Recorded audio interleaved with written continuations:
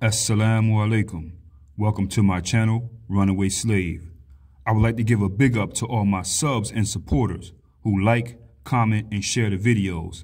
In addition, a special big up to all those who purchased my masterpiece, my book, The N-Word is No Secret in the Service. Big up to you all. Let's cook. Okay, people. In the state of Maryland, Prince George's County to be exact, a young brother, a teacher by the name of Marquise White, he's being attacked by his community. And in addition, the white community being white people in the media, they decided to get all in it because they seen that it was a story that they can hop on. They're attacking him over his students, some female students in his class, taking out his braids or putting braids in his hair. With the district. It's wrong. One, uh, you can get fired from that. No teacher should be touching another, uh, letting a student touch him, or should be letting, uh, uh, you know, that's just inappropriate. Because if it was my daughter, I'd be up at the school. Those are reactions from some people we spoke with after this video of Marquise White getting his braids taken out by a group of students. That video has 7 million views on TikTok. The school district has not confirmed whether it is this specific video that they are looking at, but in the video, White says he uploaded it for clarification. The original video was part of a live stream, and that is where people became critical of the school teachers' interactions. Some, like those you just heard from, say it is a bit too intimate for a student-teacher interaction interaction.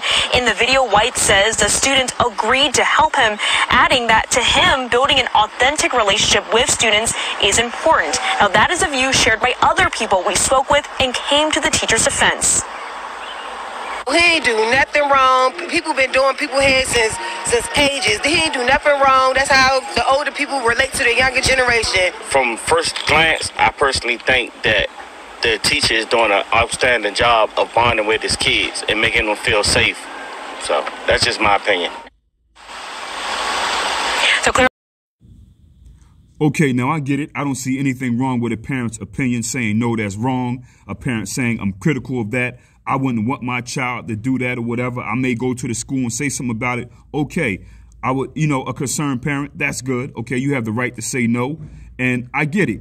I get that you know. But all this talk about fire him, putting his young brother's head on the stick for something like that, you know, all these people going at him saying, oh, uh, fire him, he should lose his job, you know what I mean? He should lose his livelihood, you know, and his ability to earn because of this. Man, that's some devil stuff. But here's my problem with this. Here's my problem. In the same state, not too far from Prince George's County, Baltimore City, we have this uh, Matt Biegel here, a white man. I did a video on him recently. Matt Biegel, okay? He has students coming to his house. He's grooming them on TikTok. He's in school dancing. He has them in his car. And he's also in romantic relationships with these young brothers in the school, which eventually led to one black youth blowing another one away and taking his life. Okay? Two black men gone. Two black men going. You can check the video I did on this channel about this dude right here. Now, where are all the white media outlets talking about this situation right here with this guy, uh, this white man, Matt Biegel? Yeah, they if if if a Marquise White can make it to mainstream news, right, over some braids in the classroom, something that only takes a verbal by, you know, the school principal, maybe the vice principal, hey, look, we got to chill, you know, something like that. But we don't have Matthew Biegel all over the news. This dude's got a mugshot, okay, in the same state. But they talking about Marquise White with some braids in class. The most you can do with that is say, is say, nah, I don't approve of that. I don't want my daughter, you know, doing that. Okay, he shouldn't do it. That's it. That's it. But this Matthew Biegel, this pale warlock here, his his community's not talking about him, but his community is talking about Marquise White. Marquise White's community going hard on him. The black community blowing him up. The white community jumping on it, piggybacking off of what they see that's hot, you know, in the black media. So they go ahead and do the story. But his white community, this Matt Biegel dude, they're not blowing him up. Some people really disgust me, man. They really disgust me. This dude right here in relationships, has black students living at his house, has black students using his vehicle, taking them to the scene to shoot and take the life of another student, causing all kinds of fitna and confusion in the lives of black youths to where two of them are gone. One of them is taken out of here, but they're not blowing Matthew Biegel up. And let me talk about this Marquise White situation again. Okay?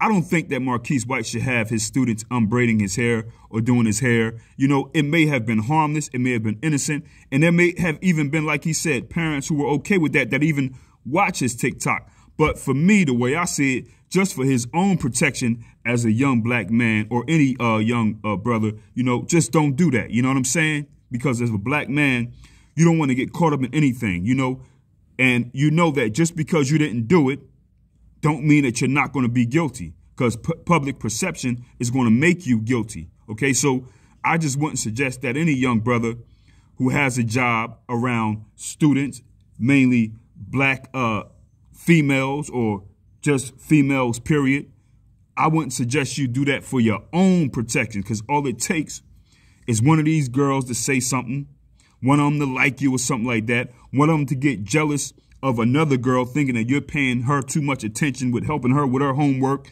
you know, or something like that. You never know.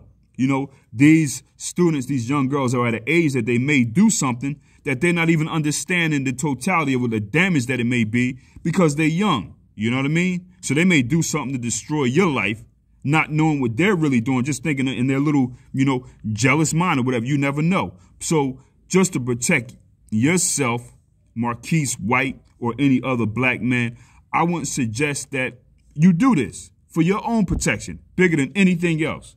Okay? Now, that doesn't mean that I feel as though he should be fired or even suspended. Just a verbal. Pull him in the office, hey, check this out. You know we have this violation against showing students' faces on TikTok or whatever it may be, even if their parents approve, whatever it may be. I don't know.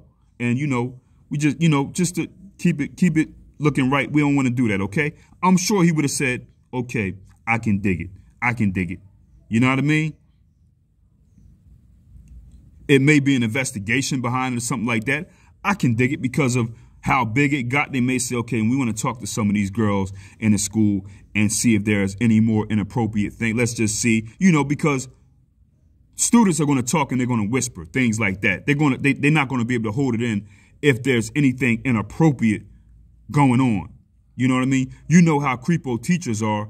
The kids are always going to talk about them. And the parents will talk about them as well. So even if they went and looked into that, okay, they're not going to come up with anything.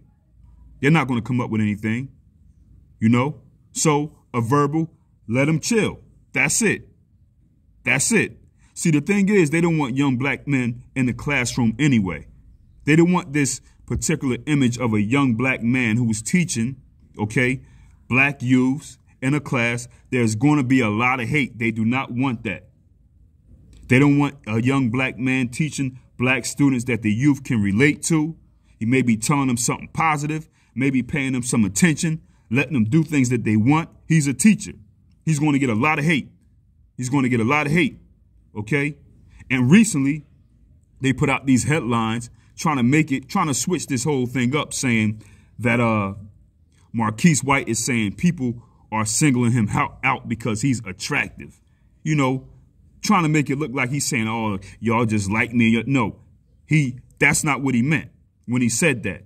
He's saying that the video attracted people because he's a young black man, braids. He has tattoos, tattoos on his arms.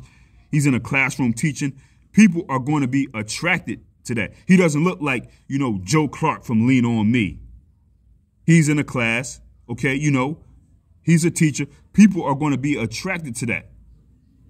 He's somebody who looks like he could possibly be some kind of a actor or a rapper or a young athlete or something. So people are going to be attracted to him in the video being that, oh man, he's a teacher, which is good. Then they see the students braiding his hair or whatever, you know, and there's just a lot of bitter, jealous people out there who see that stuff and they just get upset and they see a way that they could turn this into something big, okay? That's what they do. That's what a lot of people do. You know what I mean?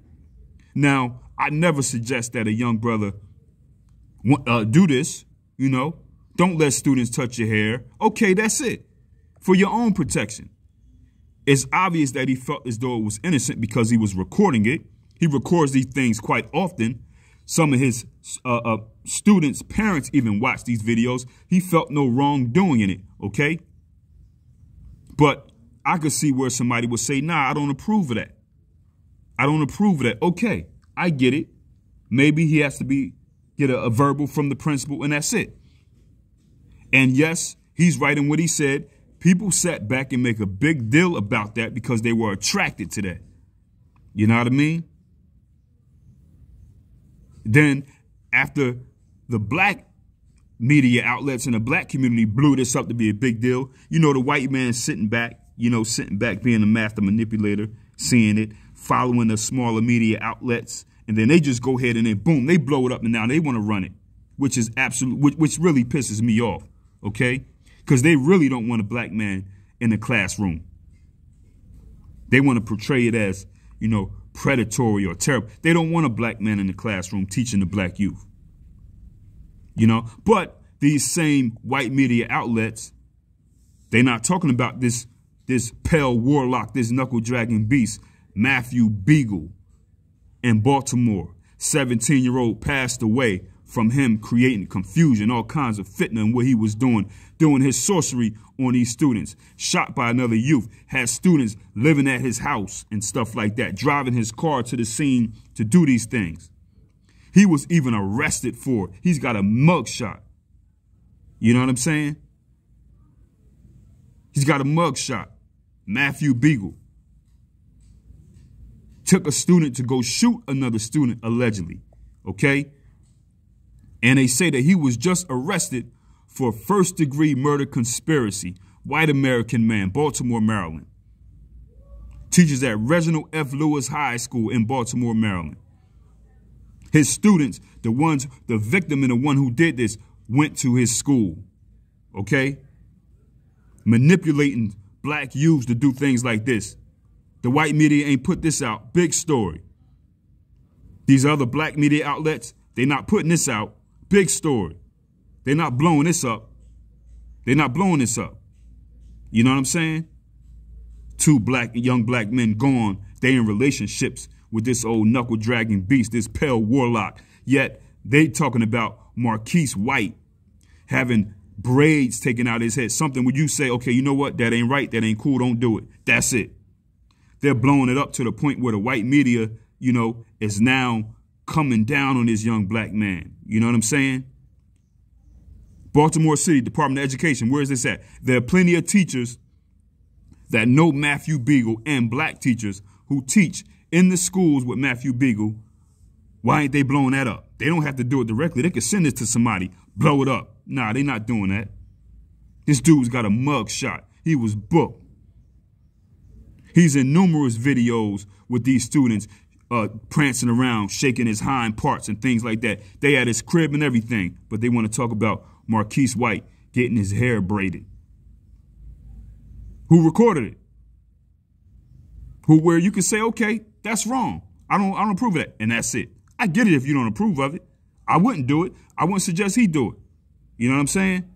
But this is just really messed up. He's a young black man who wants to teach, probably could be the principal or something one day. Who knows, you know, what he could possibly do with the youth in Prince George's County or anywhere in the field of education. You know what? I, I, hope that he could some kind of way monetize his video that got over 7 million views. I hope some kind of way he can get a bag of money out of this. This is ridiculous, man. And you see, this is why people, black people who decide to teach, they know they're taking a pay cut, you know, they decide to become teachers, you know, this is why they leave. This is why people like Marquise White and other teachers black teachers, black women, black men. They they realize, you know what, man, I, I, I need to go ahead and be a corporate in, in, in, a corporate real estate or something like that. You know, I need to go ahead and get up on the stock market or, you know, getting getting a real getting some real, real money, four or five times more than they would as teaching. Because even though teaching is their passion, I can't deal with this nonsense no more. You know, I hope some kind of way, I hope he does stay as a teacher and continue to do that. Maybe he could start something, you know, on his TikTok, I don't know, or another outlet where he can also generate more income while doing something positive. I don't know if this is, I don't even think that was about income there, but you know what? The way it's looking now, I hope this brother finds a way to monetize himself. This is messed up. Got the white media all up in it, but they letting this old pale warlock Matthew Biegel up in, in Baltimore, not far from there. He's running around with students at his crib, driving his car, blowing each other's beak off. Two of them gone. You know what I'm saying? And Marquise White, in one of the videos, the only thing I, I seen a video of you crying, yo, chill, bro. Don't cry. Don't don't give these people the satisfaction of crying. That's what they want you to do. Don't do that. They don't got to see that because by doing that and showing that you really care about the situation, it's not going to change and it is not going to make these people do anything less. Don't do that. Keep your chest high, chin up, and keep it moving. Anyway, easy.